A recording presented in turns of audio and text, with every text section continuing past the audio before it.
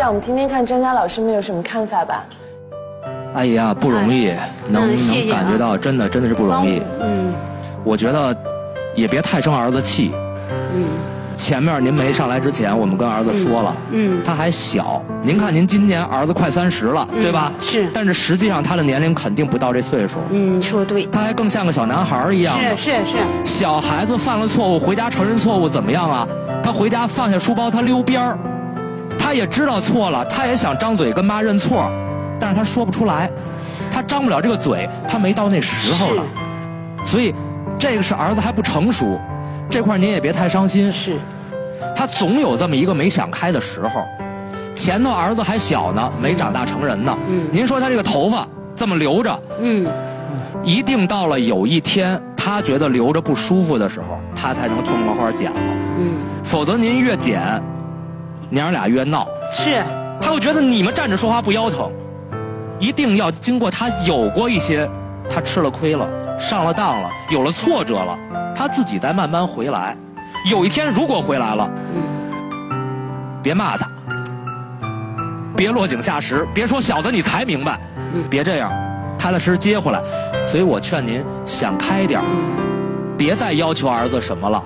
现在要求求不着，也求不来，这不是您一个母亲想要儿子现在真正能够理解的。他会爱母亲，但是他不理解。谢谢啊，刚才我注意到一个细节，呃，金女士，就是张玉儿往家里打过电话，然后呢，您接起来不说话。那我想问一个问题，这个电话，张先生，您是为了让您的心让您自己心安，还是为了让老人家心安？我不知道，反正当时我就想打个电话。那如果是您不知道的话，在我的眼里，我觉得这是让你自己心安的一个电话。这个电话不是让老人心安的一个电话。对于老人来说，老人刚才说了，这是一个骚扰电话。我觉得也是。为什么？因为第一，老人家不知道是谁打的。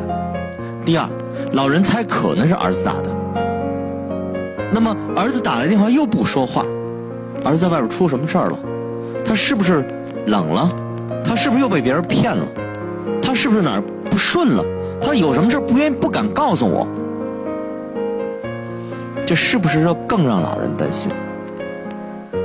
我们说对母亲孝顺这一点，我们应该是有共识的，对吧？我们说对母亲的孝顺。我们仅仅是寄点钱就是孝顺了吗？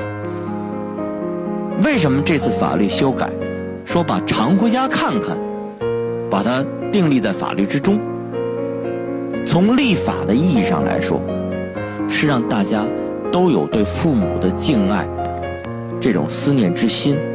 老人所需要的不仅仅是钱，老人还需要关怀，需要探望。专家老师们说了很多。其实我觉得最大的变化是，自从妈妈上场之后，我发现你静下来了，而不是像刚刚一上场的时候，你可能很想要让大家知道你的一些故事，所以说的很快，说的很着急，希望说很多很多。但是你现在已经有很长时间都没有说话了，你能告诉我这段时间你在想什么吗？哦，我觉得确实。哦，有些时候自己可能啊，有些地方做的不是很到位，很不是很对，啊，可能有的时候就做一件事的时候，确实有一些亢奋，啊，只盯住。